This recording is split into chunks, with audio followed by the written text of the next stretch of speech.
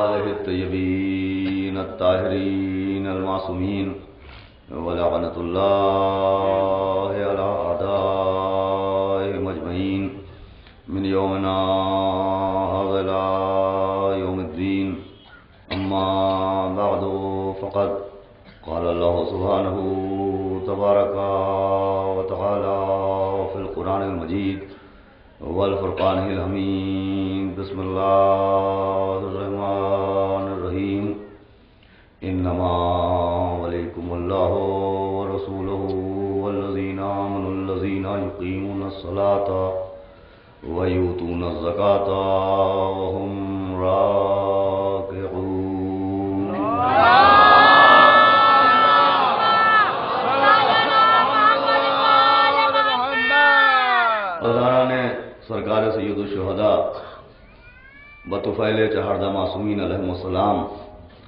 और खसूस बतसदुक़ शहजादी उलिया हज़रत बतूल बिनत रसूल, जनाब फ़ातमत ज़हरा सलाम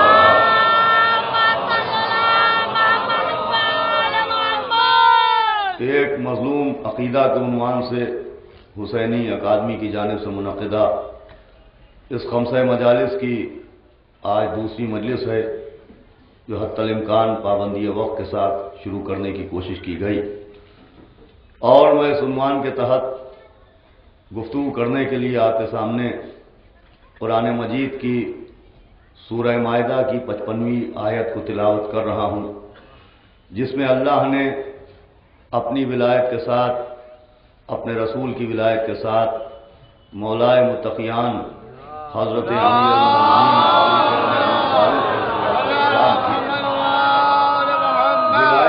ऐलान किया।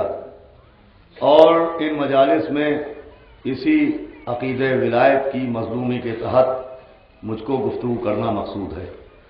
लेकिन पहले मैं दो जुमलों में जुल्म की तारीफ़ बयान कर दूँ कि जो जुल्म की तारीफ़ अहादीस की रोशनी में उलमा ने बयान फरमाई है तो जुल्म किसी भी शय को उसके मकाम असल से हटा देने का नाम है। यानी दस्तार का मकाम सर है। अगर दस्तार को कदमों पर रखा जाए तो ये दस्तार के साथ जुल्म होगा।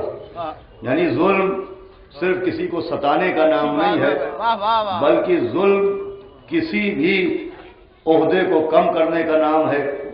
किसी भी शय को उसके मकाम असल से हटाने का नाम है। और इस्लाम में जहाँ बहुत से अकायद हैं जिसमें बुनियादी अकीदा, अकीद तोहद है, अकीद नबूत है, अकीद क़यामत है, अकीद अदालत है, अकीद शफात है, अकीद विलायत है। बहुत से अकायद हैं जिनसे मिल के ये एक दीन बना है। और जुल्म अकीद तोहीद पर भी हुआ है। देखिए, अल्लाह एक है, वो हमेशा से है, वो हमेशा रहेगा। वो खबीर है, वो कदीर है वो हन्नान है वो मन्नान है। ये सब अकीद तोहीद के जुमरे में आता है। अल्लाह जिसे नबी बनाता है वो मासूम होता है। वो निजियान व हिजियान से पाक होता है। वो भूल चूक और सहो से दूर होता है। ये अकीद नबूत में आता है। जुल्म अकीद तोहीद पर भी हुआ है कि अल्लाह के जिस्म का तस्वुर करना अल्लाह के लिए ये अकीदा कायम करना कि इंसान के तमाम तर गुनाह और तमाम तर सवाब, तमाम तर नेकियाँ, तमाम तर बदियाँ मिन जानबल्ला हैं। दो फ़िरक़े इस्लाम में ऐसे वजूद में आए। एक फ़िरक़े को जबरिया कहते हैं, एक को कदरिया कहते हैं। उनका अकीदा यह है कि ना इंसान की नेकियाँ इंसान के बस में हैं और ना इंसान की बदियाँ इंसान के बस में हैं। जो नेकी इंसान करता है, वो अल्लाह की मर्ज़ी से करता है। और जो गुनाह इंसान करता है, वो अल्लाह की मर्ज़ी से करता है। ये अकीद तोहीद पर जुल्म है। अकीद नबूत पर जुल्म यह किया गया कि नबियों के लिए सहो निसियान और तहमत हिजियान के अफसाने तराशना, ये अकीद नबूत पर जुल्म है। लेकिन अजीजान गिरामी, सबसे ज़्यादा जिस अकीदे पर जुल्म हुआ, वो है अकीद विलायत अमीर मोमिन हज़रत अली के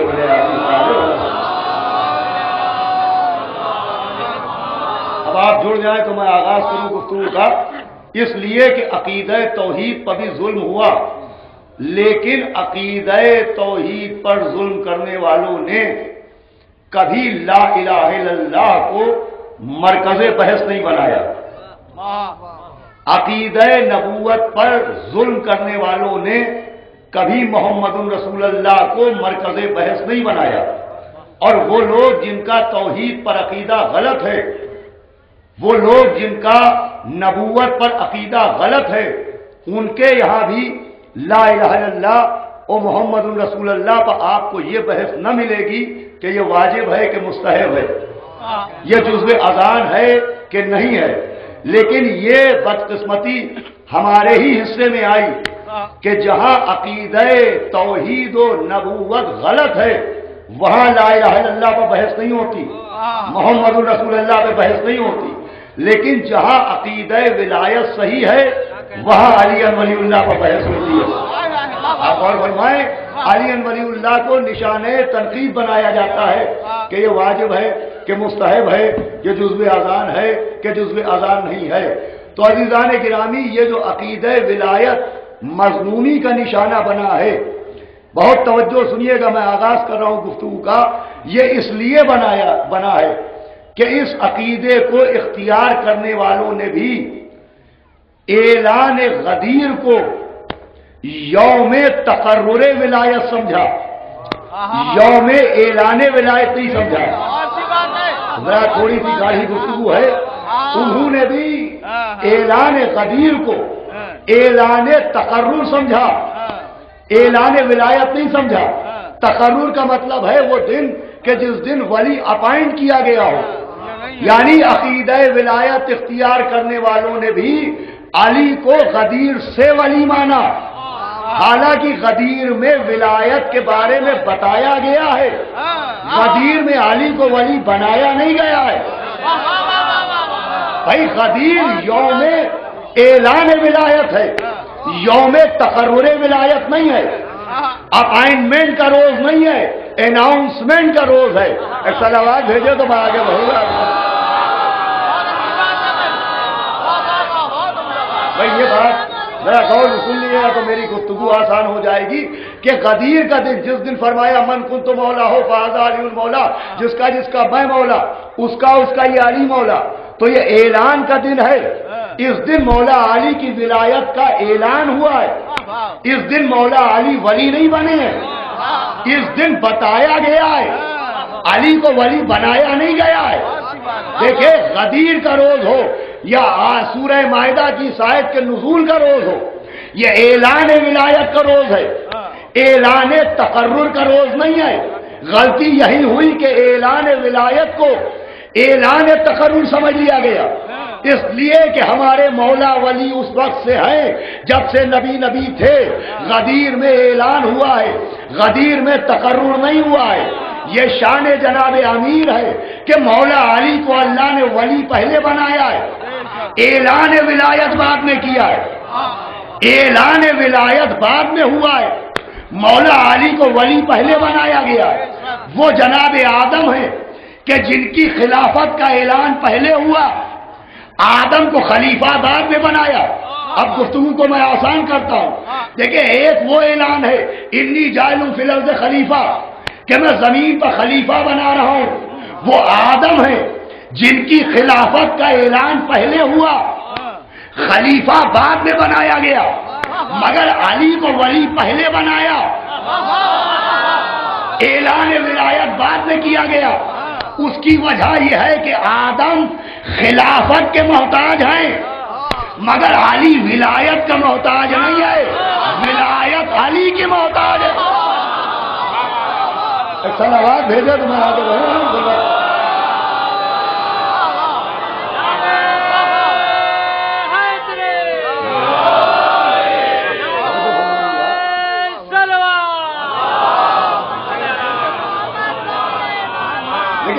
अदब सा मसला है, पाँच मिनट गुजर जाए, गुफ्तगु आसान हो जाएगी। वो आदम है कि जिनकी खिलाफत का ऐलान पहले हुआ, आदम को खलीफा बाद में बनाया गया। मगर मौला अली को वली पहले बनाया। अली विलायत का मोहताज नहीं है। विलायत अली की मोहताज है। और उसकी दलील यह है कि बगदाद से अजमेर तक अजमेर से कलियर तक कलियर से देवा तक दुनिया में औलिया बनाए गए। अब अली विलायत का मोहताज कि विलायत अली की मोहताज आप बगदाद से लेकर देवा तक पूछ लीजिए। अगर अली को शामिल औलिया कहा जाए तो अली मोहताज विलायत। लेकिन अगर सैयद औलिया कहा जाए तो जो रखिएगा। तो अली मोहताज विलायत नहीं है। विलायत अली के मोहताज है। इसीलिए अल्लाह ने इनको वली पहले बनाया। और जिसे पहले बनाया जाए, वो होती है ज़रूरत। और जिसे बाद में बनाया जाए, वो होता है जरूरतमंद। पैसा से मेरे तो मुतवजह हो जाए। देखिए अल्लाह ने आदमी को बाद में बनाया। सूरज आदमी से पहले बना। चाँद आदमी से पहले बना। पानी आदमी से पहले बना। हवा आदमी से पहले बनी। क्यों? कहा आदमी को जिन जिन चीज़ों की ज़रूरत थी अल्लाह ने पहले बना दिया। भाई आदमी को सूरज की ज़रूरत थी। सूरज आदमी से पहले बना। आदमी को पानी की ज़रूरत थी। पानी आदमी से पहले बना। आदमी को हवा की ज़रूरत थी। हवा आदमी से पहले बनी। तो मालूम है कानून ये है कि ज़रूरत पहले बनती है। जरूरतमंद बाद में बनता है। तो जो बाद में हो वो जरूरतमंद है। जो पहले हो वो ज़रूरत है। आदमी बाद में है जरूरतमंद। हवा पहले से है ज़रूरत आदमी बाद में है जरूरतमंद। सूरज पहले से है ज़रूरत। आदमी बाद में है जरूरतमंद। चाँद पहले से है ज़रूरत। तो जो आदमी से पहले है वो आदमी की ज़रूरत। तो जो चाँद से पहले हो जो सूरज से पहले हो बल्कि सबसे पहले हो। सलाम भेजे।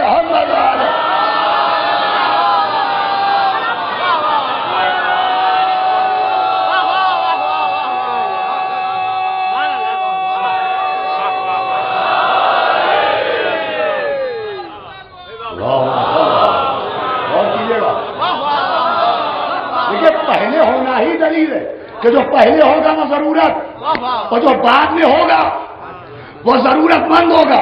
तो अल्लाह ने इन्हें पहले बनाया, वली। इनकी विलायत को इनके बाद बनाया।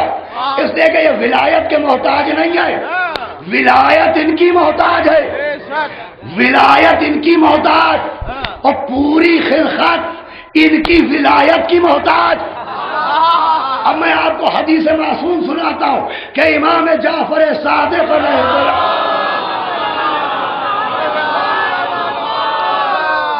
अब तवज्जो फरमाइएगा, विलायत इनकी मोहताज और पूरी कायनात विलायत की मोहताज इमाम ने फरमाया कि अल्लाह ने जब आयश को बनाया तो आयश के सीने पर लिखा, ला मोहम्मद रसूल अल्लाह अली अनवलीउल्लाह हदीस सुनते जाइएगा।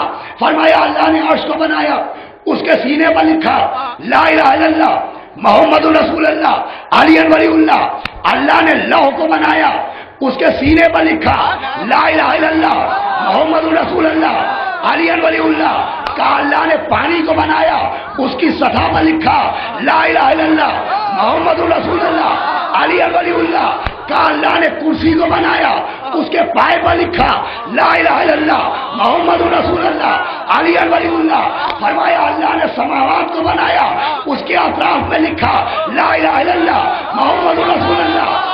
अली अलीउल्लाह तवज्जो सुनिएगा। मैं आपको हदीस सुना रहा हूँ। फरमाया, अल्लाह ने ज़मीन को बनाया, उसके तबकात में लिखा, ला इलाहा इल्लल्लाह मोहम्मद रसूलुल्लाह अली अलीउल्लाह का अल्लाह ने इसराफील को बनाया, उसके माथे पर लिखा, ला इलाहा इल्लल्लाह मोहम्मद रसूलुल्लाह अली अलीउल्लाह फरमाया, अल्लाह ने जिबरील को बनाया, उसके परों पर लिखा, ला इलाहा इल्लल्लाह मोहम्मद अली अलीउल्लाह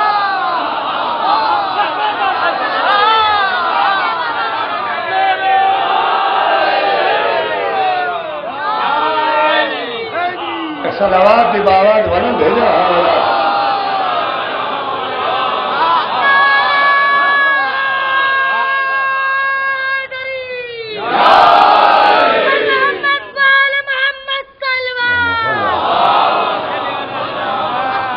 सुन गए इमाम फरमा रहे अल्लाह ने अर्श से कुर्सी तक, कुर्सी से लौ तक लौ से ज़मीन तक, ज़मीन से आसमान तक, आसमान से इसराफील की पेशानी तक, जिबरील के परों को बनाया, लिखा, ला मोहम्मद रसूलुल्लाह, अली वलीउल्लाह, फरमाया, जन्नत को बनाया, जन्नत के आठों दरवाजों पर लिखा, ला मोहम्मद रसूलुल्लाह, अली वलीउल्लाह, मैं कहूँगा, हे पालने वाले हर जगह ये कलमा क्यों लिखा? आवाज़ आएगी तुम समझे नहीं। हमने हर जगह इसे इसलिए लिखा कि एक दिन हमारा नबी यही लिखने के लिए कलम मांगेगा।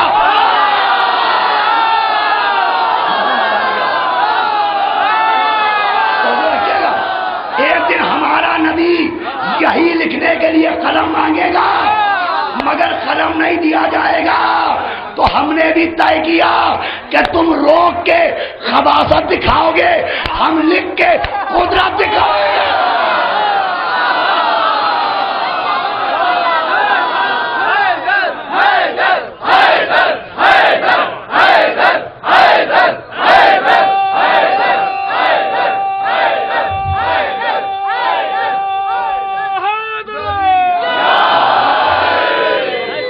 तवज्जो रखिएगा तो तुम खबासत दिखाओगे इसे रुकवा के हम अपनी कुदरत दिखा रहे हैं। आश पर लिख दिया, कुर्सी पर लिख दिया, हम मुतवजे हो गए। सूरज की पेशानी पर लिखा, चाँद के सीने पर लिखा, पानी की सतह पर लिखा समावाद के अतराफ पर लिखा, ज़मीन के तबकात पर लिखा। मैं कहूँगा, पालने वाले हर जगह लिखा। जहन्नम के दरवाजे पर क्यों न लिखा? क्या सुन रहे भाई हर जगह लिखा, जहन्नम के दरवाजे पर क्यों ने लिखा? क्या इसलिए ना लिखा क्या जो इससे जलता है, उसे जहन्नम में जाने में सहमत ना हो भाई जिसे ये बर्दाश्त नहीं है हमारे फरिश्तों को जहमत न हो।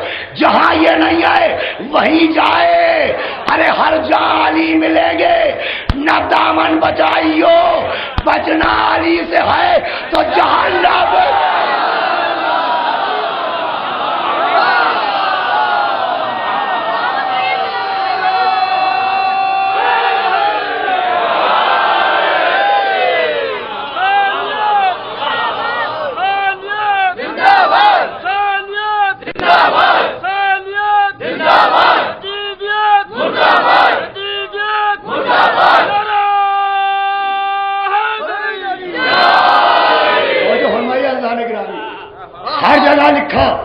जहन्नम पर नहीं लिखा। पालने वाले जहन्नम पर क्यों नहीं लिखा?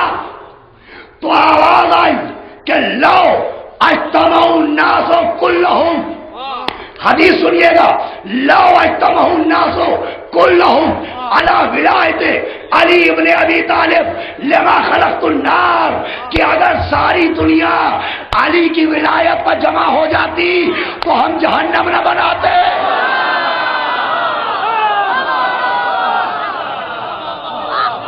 अब यहाँ तक मुझे लाना था आपको। लो अस्तमाउन्नासो कुल्लहुम अला विलायत, अली इब्ने अबी तालिब, लेमा खलकतुन्नार यह हदीस रसूल नहीं है। हदीस कुस्सी है। यह रसूल का कहा हुआ नहीं है। यह अल्लाह का कहा हुआ है कि लाओ तमाम नासो कुल अला विलायत, अली इब्ने अबी तालिब, लेमा खलकतुन्नार हम जहन्नम को न बनाते अगर सारी दुनिया कदीरी हो जाती। सारी दुनिया अली की विलायत पर जमा हो जाती। अब यहाँ से गुफ्तगु का आगाज़ है। इसका मतलब अल्लाह हर गुनाह को माफ़ कर देगा। मगर मुनकर विलायत को माफ़ नहीं करेगा। अब गुनाह की किस्में हैं। आमतौर पर दो गुनाह मशहूर है। एक है गुनाह है सगीरा। एक है गुनाह है कबीरा। कुछ गुनाह कहलाते हैं, छोटे गुनाह। कुछ गुनाह कहलाते हैं, बड़े गुनाह। यह गुनाह है सगीरा है यह गुनाह है कबीरा है। सगीर कहते हैं छोटे को, कबीर कहते हैं बड़े को। शरीयत में दो गुनाह बयान हुए। एक गुनाह है सगीरा। अब आखिरी आदमी पर तवज्जो, एक गुनाह है कबीरा। ये छोटा गुना, ये बड़ा गुना।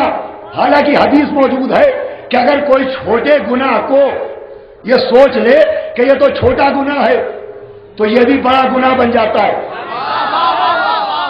ऐसा मुझसे जुड़े रहिएगा। अगर कोई छोटे गुना को छोटा गुना समझे तो ये भी गुनाह है कबीरा हो जाएगा।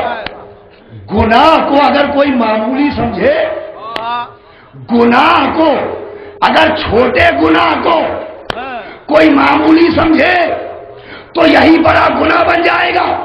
काहे को मामूली समझे? गुनाह को। मेरे साथ रहिएगा। गुनाह जो अपनी हवस के लिए होता है। गुनाह जो अपनी तस्कीन के लिए होता है। गुनाह जो अपने नफ्स के लिए होता है। अगर कोई उसे मामूली समझे तो वो गुनाह सबसे बड़ा गुनाह बन जाता है। अब आपको ऐसे लोग मिलते होंगे जिनसे आप अलम के लिए पूछिए, ताहिए के लिए पूछिए, कमा के लिए पूछिए, जंजीर के लिए पूछिए। तो कहेंगे, साहब, ये तो छोटी छोटी बातें हैं। शरीयत के बारे में पूछिए, कुरान के बारे में पूछिए तो ये उनका लहजा बता रहा है कि वो आजादारी को मामूली समझते हैं। भाई आप जुड़े नहीं। देखे गुनाह किसके लिए होता है? अपने लिए। अपने लिए गुना हुआ, मगर मातम हुसैन के लिए, कमा हुसैन के लिए, जंजीर हुसैन के लिए। ये जुमला महफूज रखेगा तो जो अपने लिए गुनाह किया जाए, अगर कोई उसको मामूली समझे तो ये सबसे बड़ा गुनाह है तो जो हुसैन के मातम को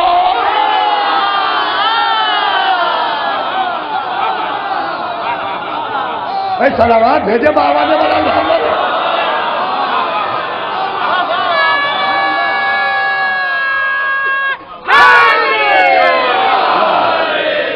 तो फरमाइएगा जो कार्य गुनाह को मामूली समझे वो गुनाह है कबीरा का मुर्तकब तो जो कार्य सवाब को मामूली समझे उसके लिए सोचिए तो एक गुनाह है गुनाह है सगीरा। और एक गुनाह है गुनाह है कबीरा। मगर अजीजों एक गुना और है, जो बताया ही नहीं जाता, जो लोगों को बताया ही नहीं जाता। भाई, एक गुना है गुना है सगीरा। एक गुना है गुना है कबीरा। एक और गुना है, नबी ने फरमाया, इन्ना आज़म जुनूब तरकल विलायत। अली इब्ने अबी तालिब फरमाया, अली की विलायत को छोड़ना गुनाह अजीमा है। अरे नहीं पहुँचे आप। फरमाया, ये गुनाह अजीमा है। ये गुनाह अजीमा है। पूरा कुरान पढ़ डालिए। गुनाह सगीरा माफ़ करने का वादा है। गुनाह कबीरा माफ़ करने का वादा है। मगर अल्लाह ने गुनाह अजीमा माफ़ कर देगा।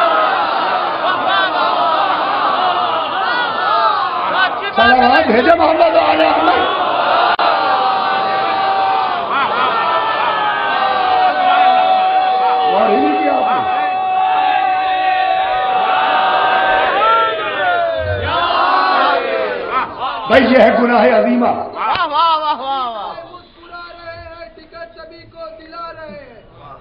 खुदा के अली के दुश्मन बिना टिकट पकड़े जा रहे हैं।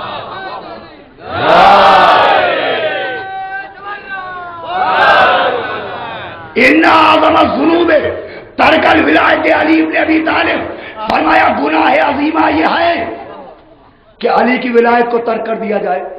लोग हमसे कहते हैं आप खैबर खंदक पढ़ते हैं, नमाज़ रोजा नहीं बताते तो आप भी गुनाह सगीरा कबीरा करते हैं, गुनाह अजीमा नहीं बताते।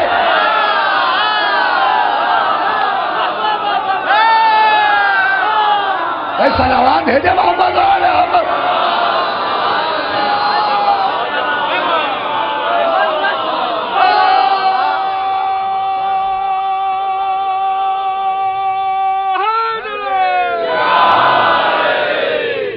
तोजो फरमाइएगा ये है गुनाह अजीमा। इन्ना आज़म जुनूब है। तरकल विलायत अली इब्न भी तालिब कि अली की विलायत को जो तर्क कर दे ये है गुनाह अजीमा। हदीस की किताबों में गुनाह सगीरा माफ़ करने का वादा किया है अल्लाह ने। गुनाह कबीरा माफ़ करने का वादा किया है अल्लाह ने। मगर गुनाह अजीमा माफ़ करने का वादा नहीं किया। यानी अली की विलायत का मुनकर माफ़ नहीं हो सकता। कदाब अल्लाह रहमान है वो जिसे चाहे माफ़ कर दे। तो अगर मुनकर अली माफ़ होगा तो वो बाद में माफ़ होगा। शैतान पहले माफ़ होगा। कदाब शैतान माफ़ नहीं हो सकता। अरे भैया जब तुराब का मुनकर माफ़ नहीं हो सकता तो अबू तुराब का मुनकर सलावात भेजे मोहम्मद वाले मोहम्मद। देखा ये आता है ये आता है गुनाह अजीमा में। इन्ना आज़म जुनूब तरकल विलायत अली इब्न अबी तालिब जिसने अली की विलायत को तर्क कर दिया उसने गुनाह अजीमा किया। अब बताइए कि जिसका तर्क गुनाह अजीमा हो गुनाह अजीम हो। देखिए इसको कहा गया गुनाह अजीम। कल की तकरीर आपको याद है? अली की विलायत को कहा गया नबाय अजीम। अली की विलायत के इनकार को कहा गया गुनाह अजीम। तो ये मजलूमी है कि गुनाह सगीरा बताया जाए गुनाह कबीरा बताया जाए और गुनाह अजीमा ना बताया जाए। अली की विलायत को तर्क करने का आलम ना बताया जाए बल्कि ये बताया जाए कि कोई कहे ये वाजिब है कोई कहे ये मुस्तहब है। देखे ये भी विलायत अली पर जुल्म है। कि किसी ने अली की विलायत को वाजिब कहा किसी ने मुस्तहब कहा आप मुझसे पूछिए तुम क्या मानते हो? तो थोड़ी देर के लिए बुरा मानिए तो मानिए। न मैं अली की विलायत को मुस्तहब मानता हूँ और न वाजिब मानता हूँ। बुरा लगा आपको? देखिए मुस्तहब नहीं है ये। इसलिए कि नमाज़ शब है मुस्तहब अगर कोई नमाज़ शब पढ़े तो सवाब में इजाफा है। न पढ़े तो अजाब नहीं आता। तो जो फरमाइएगा। मुस्तहब के तर्क में कभी अजाब नहीं आता। मुस्तहब की पहचान यह है कि अगर मुस्तहब न किया जाए तो कभी अजाब नहीं आएगा।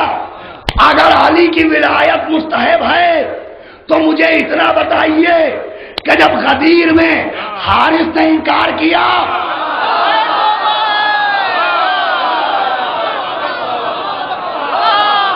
तो उस पे अजाब क्यों आ गया सलावात भेजे मोहम्मद वाले।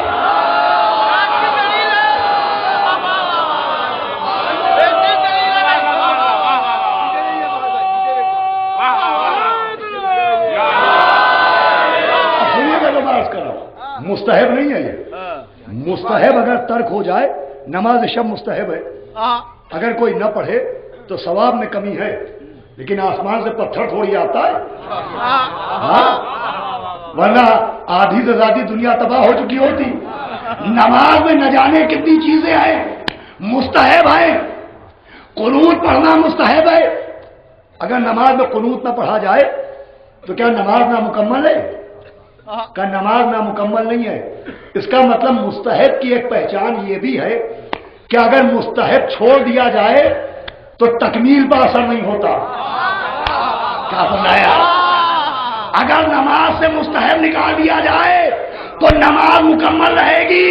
मगर अली की विलायत वो है कि जब तक ये ऐलान न हो, अलियोम अकबल तो लकुम की आयत आएगी। अब आ जाइए आज के लिए जिसे मैंने जहमत दी जिसके लिए। तो मैं इसको मुस्तहब नहीं मानता। लोग जोश में कहते, साहब, अली वलीउल्लाह वाजिब है। ये अजीजों वाजिब भी नहीं हाँ। इसलिए कि वाजिब का कानून यह है कि हर वाजिब, हर एक पर वाजिब नहीं होता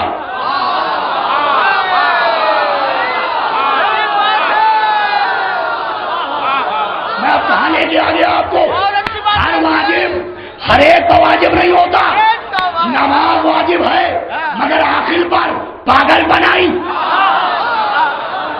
नमाज़ वाजिब है बालिग पर नाबालिग बनाई। रोजा वाजिब है सेहतमंद पर बीमार बनाई। हज वाजिब है अमीर पर फकीर बनाई। क्या सुना है आप? जिहाद जिहाद वाजिब है। मर्द पर औरत बनाई। भाई जिहाद वाजिब है मर्द पर औरत बनाई। अब अगर कोई औरत मर्द बनना चाहे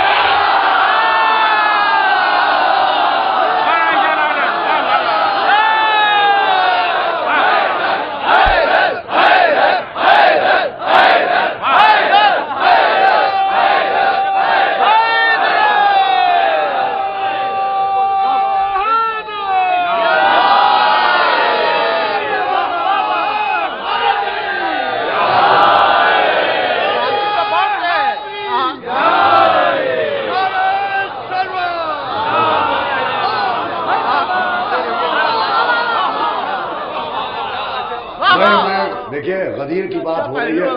और मुबल्लिगे ऐलान गदीर मुरवजे हाँ नमाज़ ईद गदीर मौला बाकर साहब मशदी पीछे बैठे अरे इधर आइए। तशरीफ़ लाए सलावात भेजो।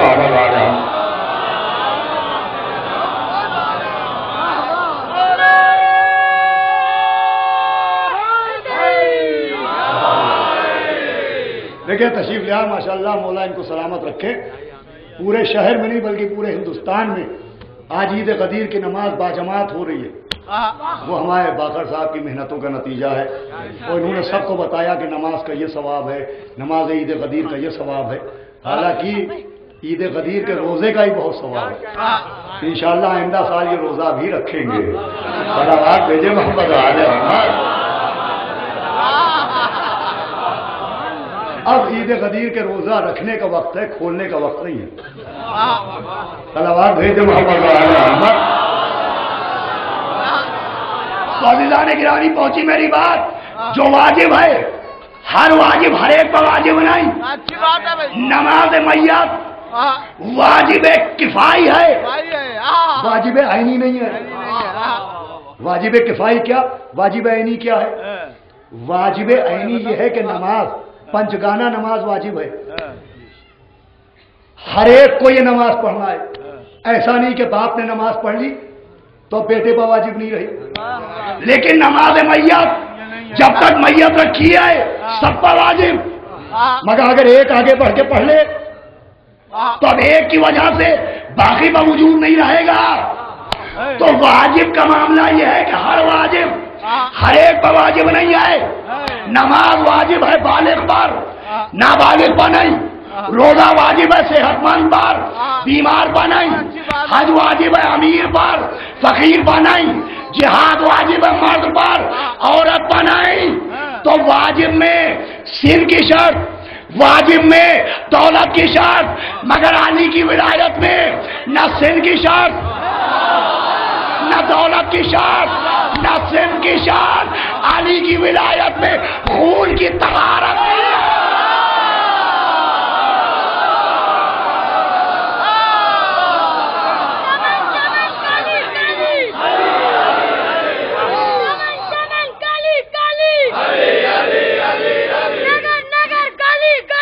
Allez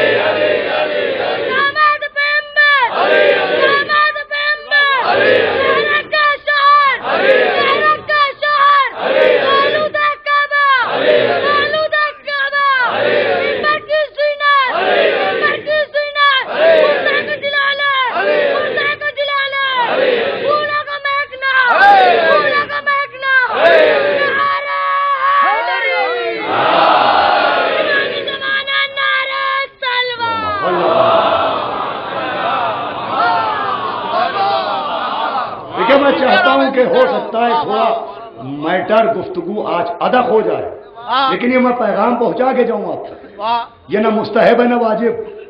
मुस्तहब का तारिक मुस्तहक अजाब नहीं होता। नमाज़ वाजिब हर वाजिब हर एक पर वाजिब नहीं। नमाज़ जनाजा एक ने पढ़ ली बाकी पर वाजिब नहीं रही। हाँ। मगर अली की विलायत का मामला ये नहीं है कि बाप ने कह लिया तो बेटे पर वाजिब नहीं। बेटे ने कह लिया तो बाप पर वाजिब नहीं। इसमें खून की तहारा शर्त है। ये हलाल जादे की किस्मत में आया है। ये अकीदा हर एक की किस्मत में नहीं आया। अब अजीजान गिरामी एक तो मजलूमी ये है हाँ। कि इसे वाजिब और मुस्तहब के खाने में रखा गया। हाँ। कुछ ने कहा वाजिब है कुछ ने कहा मुस्तहब है। ये वाजिब है ना मुस्तहब? ये है औजब। भेजा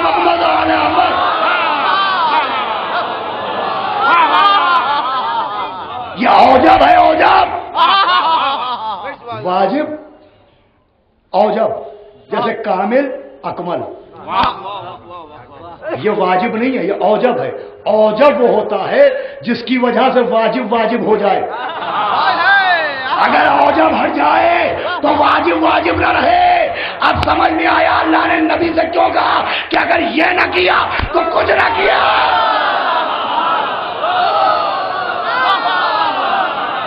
सलावात भेजे मोहम्मद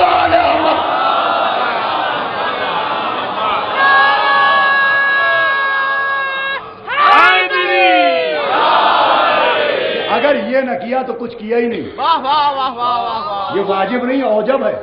इसलिए कि जो कुछ की बात है कुछ की बात। हाँ, उस कुछ में सारे वाजिबात मौजूद हैं।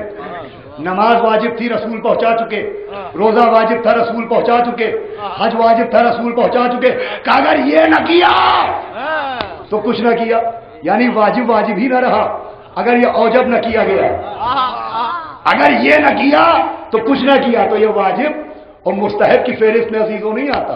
अब मजलूमी यह है कि जो औजब हो हाँ, उसके लिए बहस की जाए है। कि साहब अगर जुज समझ के कह लिया तो नमाज़ बातिल हो जाएगी।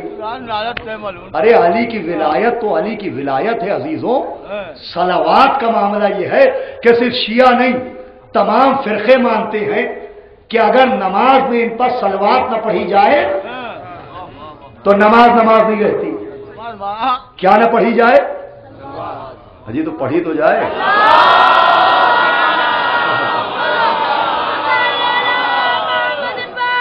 अगर सलवार न पढ़ी हाँ, तो नमाज़ नमाज़ वाजिब नमाज़ नमाज़ नहीं। हाँ, मुझे इतना बताइए कि कुरान में सलवात के लिए कितनी आयती हाँ, कई जगह हुक्म सलवात है कुरान में। हाँ, बताइए मुझे। भाकर साहब? कई जगह हुक्म सलवात है कुरान में। सिर्फ़ एक जगह। सूरह एहजाब हाँ, आयत नंबर 56 छह हज़ार, छह सौ छियासठ आयतों में सिर्फ़ एक आयत है, आयत सलवात। तो कुरान में सलवात का ज़िक्र है एक बार, मगर अली की विलायत का ज़िक्र है बार बार। भाई, दुश्मनों तक ने लिखा कि कम से कम अठारह जगह अली की विलायत का ज़िक्र हुआ। अब फैसला कीजिए कि जो एक बार हो अगर वो न पढ़ी जाए तो नमाज़ नमाज़ नहीं तो जो अठारह बार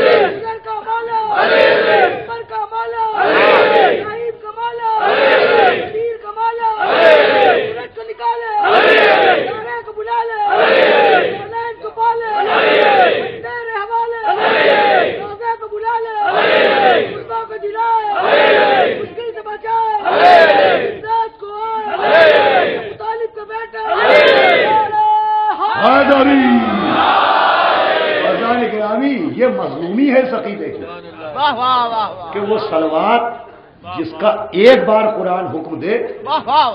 अगर वो ना पढ़ी जाए तो नमाज़ नमाज़ नहीं रहती। हालाँकि नमाज़ है वाजिब। तो जब सलवात के बगैर वाजिब नमाज़ वाजिब नहीं रहती तो अलियन वलीउल्लाह के बगैर मुस्तहब अजान अजान हो जाएगी। इसीलिए इसे हो जब कहा अच्छा आप यहाँ पर रुक के इतना बताइए कि जियारत आशूरा में हाँ। दुआओं की किताबों में जो दुश्मना ने अहल बैत पर लानत भेजी जाती है तो सबब लानत क्या है? हाँ वो नमाज़ नहीं पढ़ते थे इसलिए लानत। वो रोजा नहीं रखते थे इसलिए लानत। वो हज नहीं करते थे इसलिए लानत। भाई सबब लानत क्या है? क्या नमाज़ के तारीख थे? तो नमाज़ के तारीख नहीं थे। नमाज़ तो ऐसी पढ़ी कि नमाज़ असला तो मेराजुल मोमिन। नमाज़ मोमिन की मेराज है। असला तो उमुदुद्दीन नमाज़ दीन का सुतून है। तो एक तो यूँ ही नमाज़ बहुत मोहतरम। तो अगर नमाज़ किसी मौलवी साहब के पीछे पढ़ी जाए, नमाज़ का ग्रेड और बढ़ा। आलम के पीछे नमाज़ पढ़ी, नमाज़ का मरतबा और बढ़ा।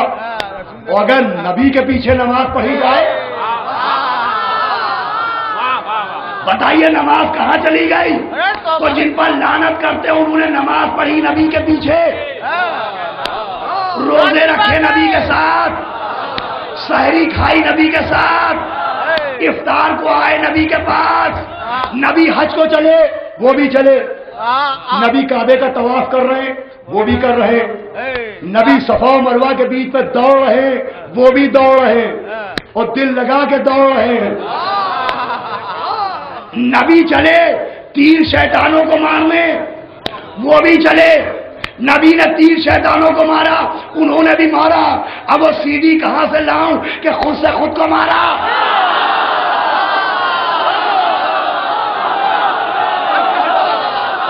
भाई, खुद से खुद को मारा, खुद से खुद को मारा, खुद से खुद को मारा। काबिल लानत क्यों हुए? न नमाज़ छोड़ी न रोजा छोड़ा न हज छोड़ा न तवाब छोड़ा न सजदा छोड़ा क्यों काबिल लानत हुए तो इबादत को छोड़ने की वजह से काबिल लानत नहीं है अली की विलायत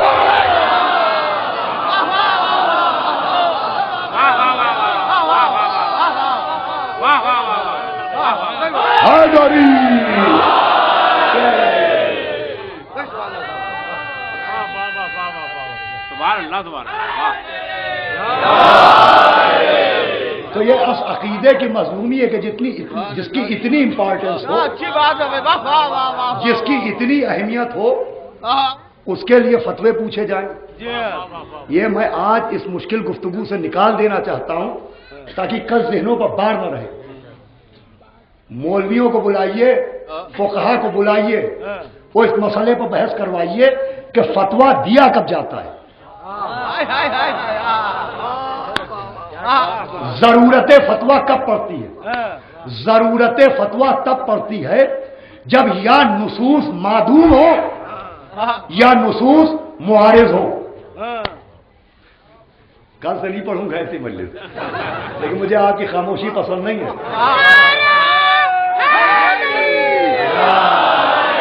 लेकिन ये पैगाम पहुँचना बहुत ज़रूरी है। सलावाद भेजे मोहम्मद आला।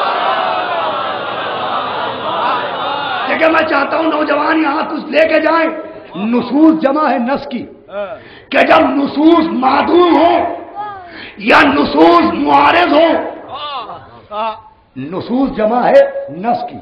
नस कहते हैं ये जो हाथों के अंदर है इसे नून और सीन से लिखा जाता है। ये नस है। अरबी में जो नून और स्वाद लिखा जाता है उस नस का मतलब होता है सबूत। नसूस मादूम। वो सबूत जो मौजूद ही ना हो। नसूस मुआरिज। वो सबूत जो मौजूद हो, मगर एक ही मामले में दो तरह की हदीसें हो। ये कहलाते हैं नसूस मारिज कि एक ही मसला है, एक इमाम ने कुछ कहा, दूसरे इमाम ने कुछ कहा। अब यहाँ पर फतवे की ज़रूरत पड़ी, कि जब एक ही मामले में दो तरह की हदीसें आए तो अब फतवा चाहिए कि अब क्या करें?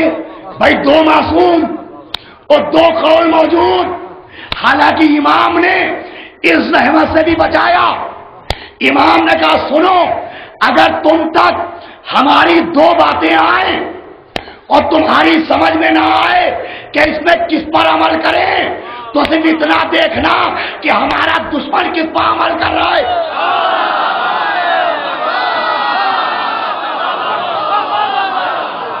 देखिए ये बात मैं आज ही तमाम करना चाहता हूँ। इमाम ने फरमाया, अगर एक मसले में दो हदीसें आ जाएँ और तुम्हारा दिमाग परेशान हो जाए कि ये करें कि ये करें। तो तुम क्या करो? का तुम देखना हमारा दुश्मन क्या कर रहा है। जो हमारा दुश्मन कह रहा है, उसके उल्टा करो। इसलिए कि हमारा दुश्मन कभी सही कह नहीं सकता। तो अब अली अनवरी उल्लाह के मामले में किताबें ना देखो, दुश्मनों को देखो।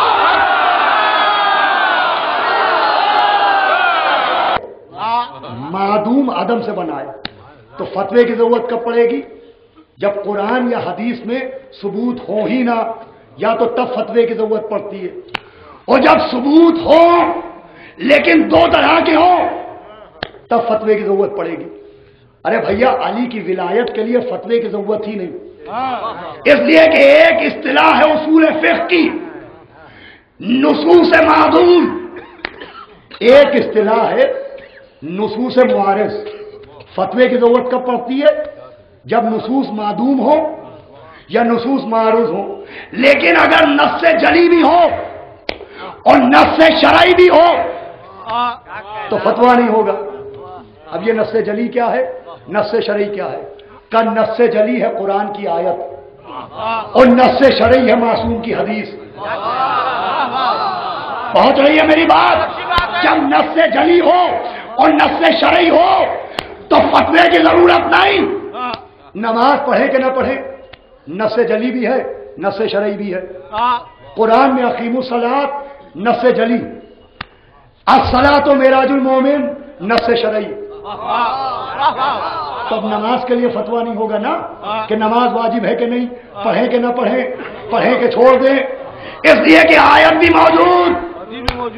आखिरी आदमी तक तवज्जो, हदीस भी मौजूद, नस जली भी मौजूद, नस शरई भी मौजूद। मालूम है जब नस जली और नस शरई दोनों हो तो फतवा मांगने वाला अहमद कहलाएगा। तो अली की विलायत के लिए नस जली भी है नस शरई भी है, आयत बल्ले नस जली है। मन कुल तो मौला।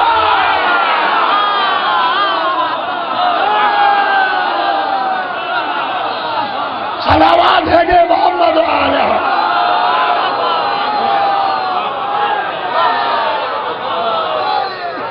ये अल्लाह ने ये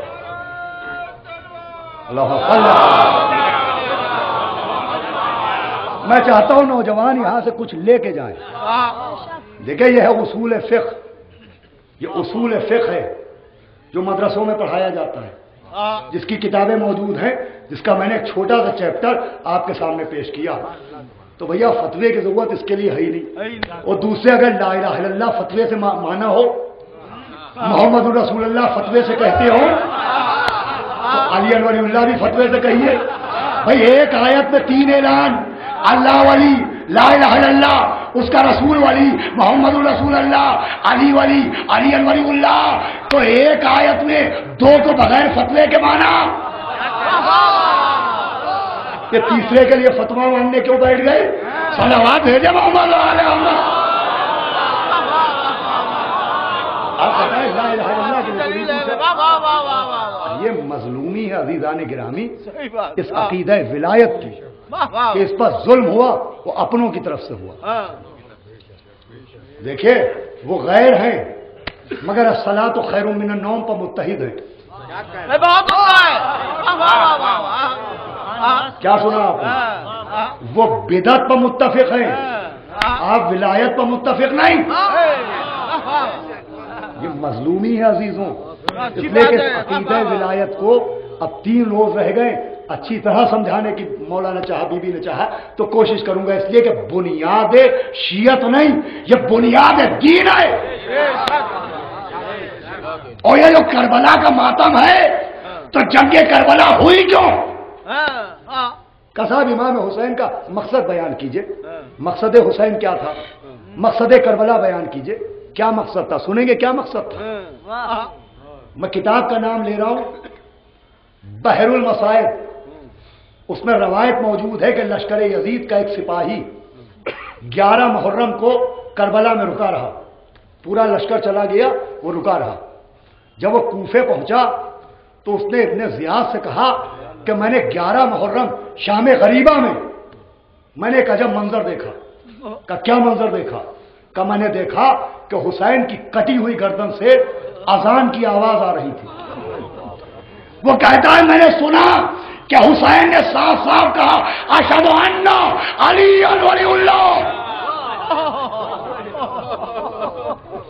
किताब में न मिले तो मेंबर पर चढ़ने न दीजिएगा। कि मैंने साफ़ साफ़ सुना कि हुसैन अजान में कह रहे थे अशद अन्ना अलीन वलीउल्लाह वो कहता है कि मैं काँप गया। इसलिए कि इसी नाम को मिटाने के लिए तो हुसैन को मारा था। सुना आपने? इसी नाम को मिटाने के लिए हमने हुसैन को मारा था। इसका मतलब जंगे करबला अदावत विलायती अली में हुई थी। और इधर की कुर्बानियाँ हिफाजत अकीद विलादत के लिए, विलायत के लिए हुई कि उधर लश्कर है, दुश्मन विलायत। इधर का लश्कर है मुबलग विलायत। उधर से तीर चला अदावत विलायत में। इधर से सीना बढ़ा हिफाजत विलायत में। उधर से नैजा चला अदावत विलायत में। इधर से अकबर का कलेजा बढ़ा हिफाजत विलायत में। उधर से तलवार बढ़ी अदावत विलायत में।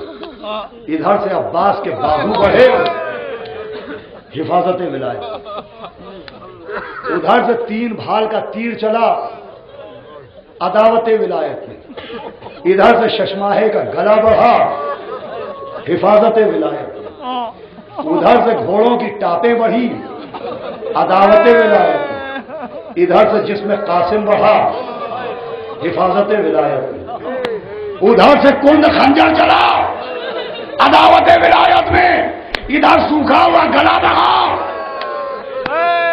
हिफाजत विलायत उधर से आग की मशाले बढ़ी अदावत विलायत में इधर से खयाम अहले हरम बढ़े हिफाजत विलायत में उधर से नैजों की अनिया चली अदावत विलायत में इधर से बीवियों के सरों की चादरें बढ़ी हिफाजत विलायत बस अजीजों जो करबला की जंग हुई है, ये बरबिनाए अकीद विलायत हुई।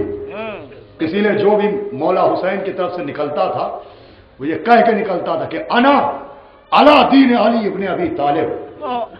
कि मैं अली इबन अभी तालिब के दीन पर हूँ। जब पूछा है, हज़रत ने कि क्या मैंने हराम को हलाल किया? क्या मैंने हलाल को हराम किया? तो भाई अपना रसूल अल्लाह हम आपको आपके बाप अली के बुख में शहीद कर रहे हैं। क्या बिगाड़ा था मौला अली ने? भूखों के मुँह में निवाले रखने वाला ऐसे मरीज़ जिनके पास से कोई गुजरने की जहमत न करे उनके जख्मों पर मरहम लगाने वाला रात के अंधेरे में कांधे पर बोरे रख के बेवाओं के घरों में पहुँचाने वाला क्या बिगाड़ा था? काहे की अदावत थी? यह गदीर की अदावत थी अजीजों। और यह सिलसिला मौला अली तक महदूद नहीं है। चौथे इमाम से किसी ने कहा कि, हज़रत, मैंने हुसैन का पारा पारा लाशा देखा। मैंने गिने तो एक हज़ार नौ सौ जख्म थे। इतने तीरों के जख्म थे, इतने तलवारों के जख्म थे, इतने खंजरों के जख्म थे। और फिर कहने वाले ने कहा, हज़रत, मैंने इमाम के शाने पर एक जख्म देखा, ऊदे रंग का। जो न तलवार का था, न तीर का था, न नैजे का था। वो जो हज़रत के शाने पर जख्म था, वो कैसा था? का वो जख्म नहीं था। मेरा बाप अपने बाप की तरह रात के अंधेरे में कांधे पर बोरे रख रख के गरीबों के घरों में पहुँचा क्या बिगाड़ा काहे की अदावत? बस अजीजों आवाज़ें बुलंद है। मौला आपको सलामत रखें। जनाब अब्बास के अलम का साया बाकी रहे।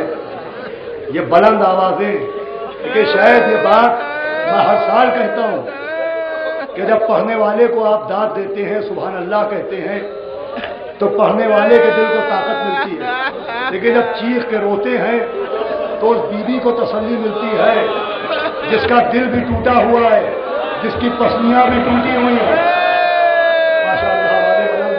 जिसने मैं एक तमन्ना की थी, बाबा, अरे मेरे लाल पर रोएगा कौन? और जिसके लिए अल्लामा दरबंदी ने लिखा कि ज़मीन पर किसी कोने में भी जब कोई मौला हुसैन की मजलिस का फर्श बिछाता है तो सबसे पहले तीन बीवियाँ आके बैठ जाती हैं। एक नबी की बेटी बीबी सैयदा, एक अली की बेटी बीबी जैनब, एक मौला हुसैन की यतीमा, जनाब सकीना। ये तीन बीबियाँ आके बैठ जाती हैं, जाने वाले चले जाते हैं, सैयदा बालों को खोल देती है, जैनब दुआ करती जाती है। अब बीबी सकीना क्या कहती है? ये मुझे किताब में नहीं मिला, मगर मेरा दिल कहता है कि शायद जब आजादारों को रोते हुए चार बरस की यतीमा देखती हो तो कहती होगी, दादी, इनके कोई तमाचे मारने वाला नहीं है। कोई इन्हें रोने से रोकने वाला नहीं है। मगर ए दादी, अरे हमारे तमाचे मारेगा। हाँ लो, आज मुहर्रम की पंद्रह तारीख है। तो देखिए, दस मुहर्रम, आशूर का रोज, मसायब के खात्मे का रोज नहीं है। आशूर का दिन तो मसायब के आगाज़ का दिन है। जिस दिन हम आप शाम गरीबा के बाद पैरों में नालैन डाल लेते हैं, उस दिन से सैयद सज्जाद के जो पैरों से नालैन उतरी तो न जाने कब पैरों में नालैन आई होगी। पैरों में नालैन का ज़िक्र नहीं मिलता, सैयद सज्जाद के पैर में आबुलों का ज़िक्र मिलता है। आवाज़ बुलंद है। मौला हुसैन के गम के सिवा कोई गम नहीं मिलता। बड़े सख्त अयाम है ये। ग्यारह मुहर्रम सख्त तरीन दिन। ये रवायत आप सुन सकें तो सुना दूँ कि चौथे इमाम से जनाब मिनहाल कूफी ने कहा कि हज़रत करबला के वाकयात सुनाइए। आपने मसायब सुनाए और सुनाते सुनाते कहा मिनहाल सुनो करबला में चार मौके ऐसे आए कि इमाम ना होता तो मैं मर जाता। मिनहाल अगर इमाम ना होता तो मैं मर जाता। कहा का वो मौके कौन से हैं?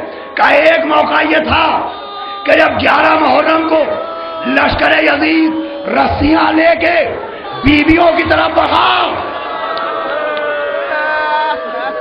तो जैसे ही लश्कर यजीद सैदानियों के करीब पहुँचना चाहता है कि आसमान सुर्ख हो गया, ज़मीन पर जरजरा आने लगा। उमर साहब ने कहा, सैयद सज्जाद, ये तो आसार क़यामत है। कहा उमर साहब अगर किसी यजीदी ने ज़रूरत की कि वो अपने हाथ सैदानियों के करीब लाए तो कयामत आने में एक दकीका न रहेगा। उमर साहब ने कहा कि हुक्म इब्न जियाद का क्या इनको रस्सियाँ पहनाई जाए? कहो मेरे साथ, तूने मेरे बाबा का सब्र देखा है। मेरा सब्र देख। तुझे रस्सियाँ पहनाने से मतलब रस्सियाँ हमारे हाथ में दे। कायम हाल हम इमाम न होते तो मर जाते कि अपने हाथ से बीवियों के चारों तरफ़। अजीजों, अभी जुमला कहा आया सैदानियों ने हाथ आगे बढ़ाए। हमने बीवियों के हाथ में रसिया लपेटना शुरू की। का मैं इमाम न होता तो मर जाता, जब चार बरस की सकीना। आगे बढ़ी भैया।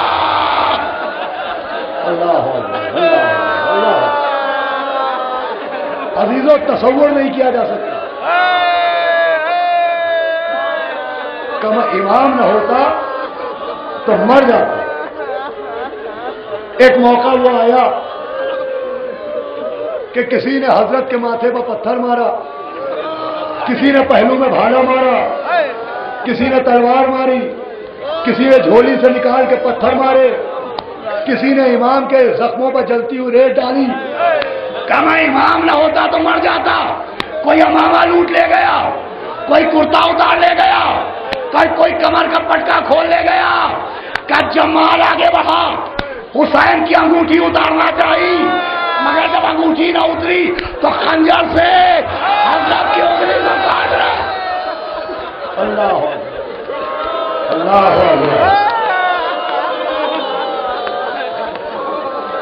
वो वो मौके आए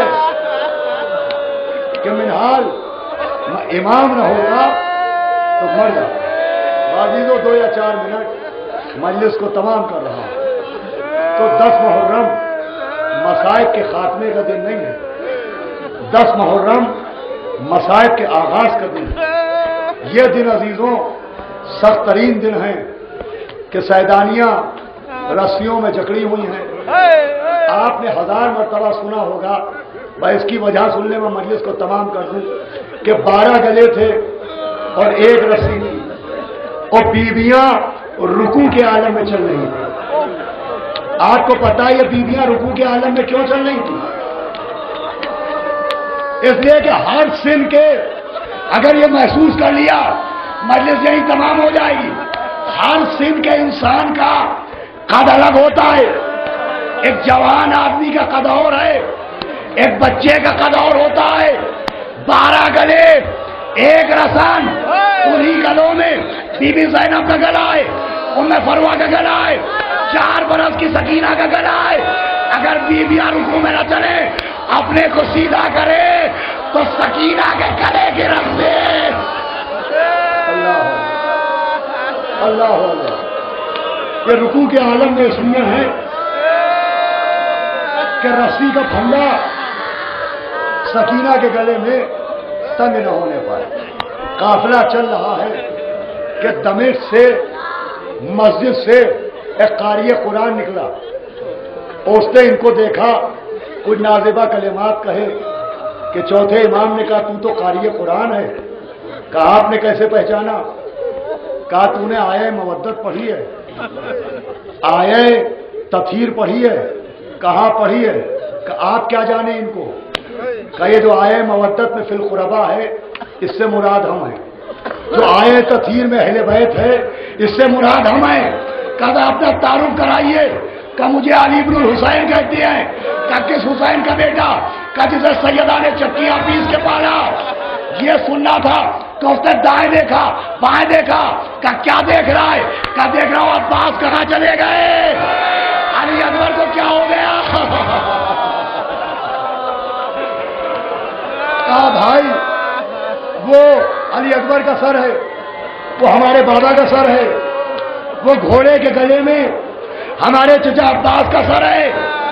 उसने पीछे मुड़ के देखना चाहा का पीछे मुड़ के न देखना। सैयदा की बेटियाँ बेमखनो चादर है। वो घर में आया, अपनी माँ के सर से चादर को उतारा, अपनी बहन के सर से चादर को उतारा हमारी चादरें कहा ले जा रहा है? अरे तुम्हें शर्म नहीं आती? सैयदा की बेटिया बेवकड़ा चादर।